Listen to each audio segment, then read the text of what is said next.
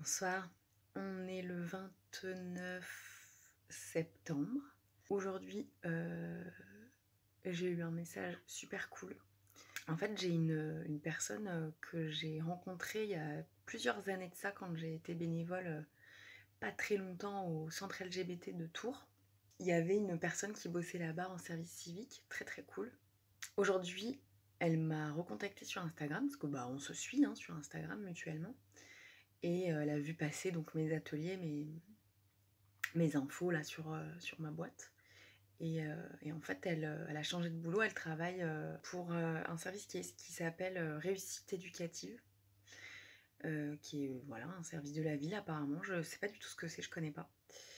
Et hum, il travaille beaucoup dans les quartiers prioritaires, dits prioritaires. Et elle me disait que dans ce cadre-là, bah, il y avait des ateliers qui pouvaient être proposés euh, aux familles ou aux enfants euh, les mercredis. Et qu'elle avait euh, filé mon contact à sa collègue qui gère ça et qui normalement devrait me contacter. Donc c'est trop cool.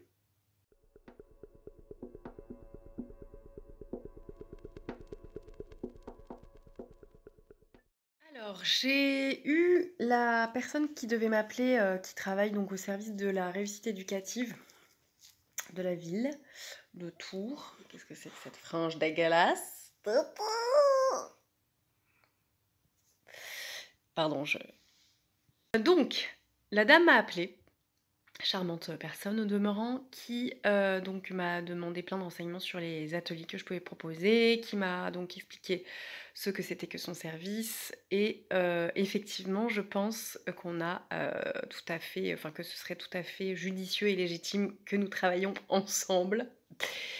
Donc c'est trop cool et on a donc décidé de se caler un moment pour se rencontrer. Du coup, euh, je la vois jeudi prochain, le 7 octobre. Et euh, après, voilà, on va voir ce qu'on peut faire euh, peut-être ensemble. Et j'ai trop hâte, et je suis trop contente, et c'est trop cool. Ça faisait longtemps que j'avais pas chialé, je crois, dans ce vlog. Nous sommes le 2 octobre. J'avais un mail de la CAF comme quoi il fallait que j'aille sur euh, mon espace personnel parce qu'il y avait des trucs, euh, un message, machin. C'était par rapport à mes APL. Mais je suis quand même allée voir dans euh, mes droits. Et là, je vois qu'il y a marqué RSA avec un montant en face. Je me suis mise à pleurer de manière un petit peu disproportionnée. Et du coup, c'est le soulagement, quoi, qui, je pense, qui me fait euh, craquer autant, quoi. C'est que je suis en mode, ah putain, ça y est, j'ai enfin plus ça qui va me prendre la tête, en fait, et que ça va m'enlever une sacrée charge mentale. J'ai plus à me dire que va falloir que j'aille faire de l'intérim ou, ou aller faire le ménage chez les petits vieux pour euh, nourrir ma fille et payer mon loyer, quoi.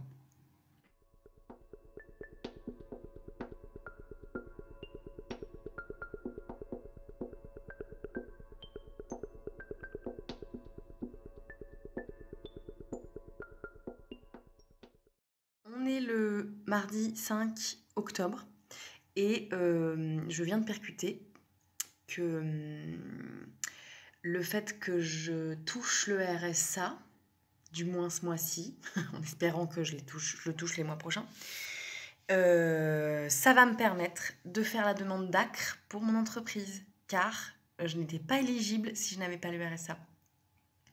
Donc je vais pouvoir euh, faire euh, cette démarche, ça c'est cool. Euh, ici même les boîtes aux lettres de mon immeuble.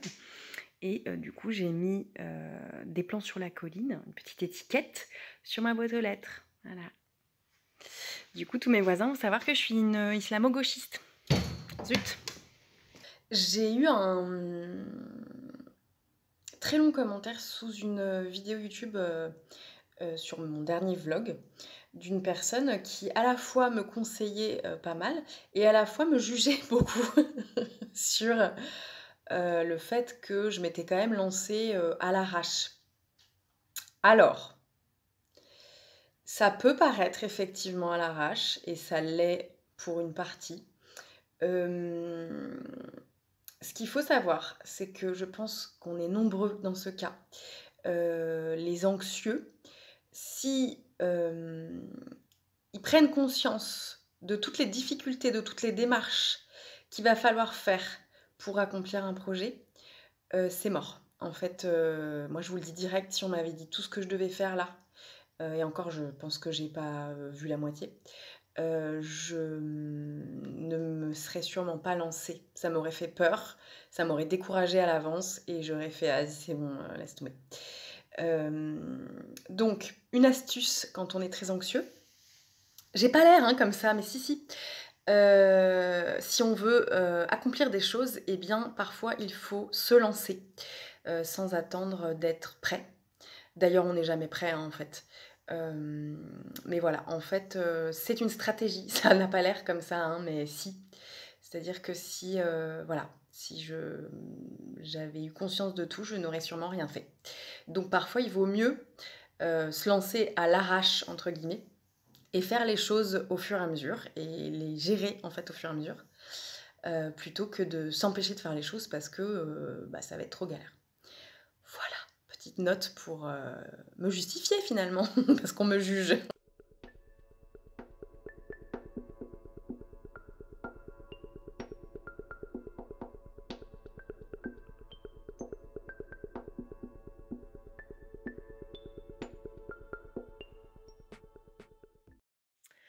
Sommes le jeudi 7 euh, octobre 2021 et aujourd'hui, j'ai eu mon premier euh, rendez-vous professionnel. Alors, entre autres activités, ils organisent des ateliers pour des besoins spécifiques euh, des familles, des enfants. Et la personne qui est en charge de mettre en place ces ateliers est très intéressée par ce que je propose. Donc, première, chose, même si ça n'aboutit pas, euh, j'ai la preuve que des gens peuvent s'intéresser à ce que je propose. Ce qui est déjà énorme. Parce qu'en fait, quand on se lance au tout début, on est un peu en mode... Euh, mais en fait, euh, moi, ça m'intéresse, mais ça va intéresser personne d'autre et je ne vais avoir zéro client. Donc du coup, d'être déjà convoqué, entre guillemets, à un entretien et, et pour parler de notre activité et qu'on nous dise que c'est cool ce qu'on propose, déjà c'est énorme. Voilà.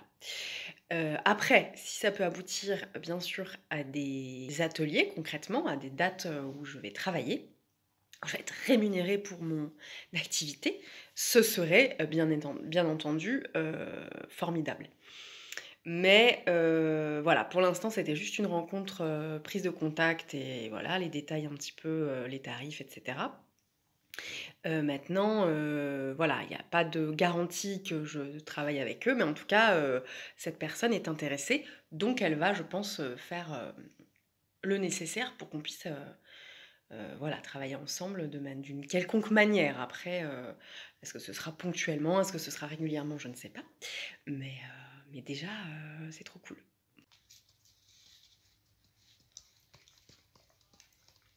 Est-ce que je peux vloguer tranquille? C'est pas possible d'être aussi beau de colle.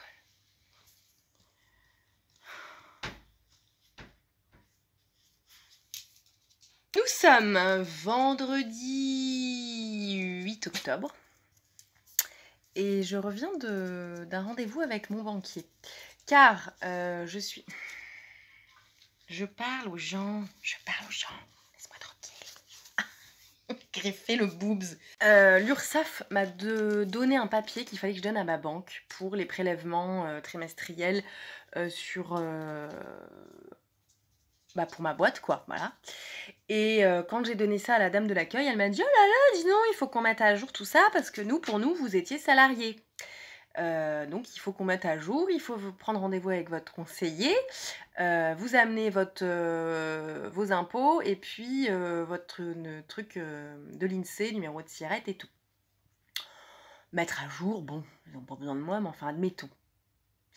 Mais comme je le craignais, évidemment, il a essayé de me refourguer l'ouverture d'un compte professionnel parce que soi-disant que euh, c'est quand même mieux et je suis là ouais mais en fait non il me semble avoir lu que sous un certain seuil de chiffre d'affaires on peut totalement euh, euh, avoir euh, juste notre compte euh, courant et c'est tout. Et lui, il dit oui, mais nous, c'est pas notre politique. Ça me saoule, en fait. Vraiment, les banquiers, c'est les personnes de la pire espèce.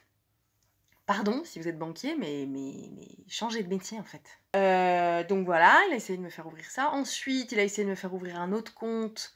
Euh, mais j'ai pas besoin, en fait. Je... Pourquoi faire? Euh, oui, mais ça coûte, ça coûte rien, c'est gratuit. Mais je m'en bats les steaks, en fait. Euh, J'en ai pas besoin d'un autre compte. Même gratuit. Bref. Voilà. Et vous, est-ce que si vous avez une boîte, vous avez euh, ouvert un autre compte? Est-ce qu'on vous a foutu la presse pour le faire? Est-ce que vous savez que vous n'êtes pas obligé, sous un certain seuil de chiffre d'affaires? Enfin, moi, c'est ce que j'avais lu. hein.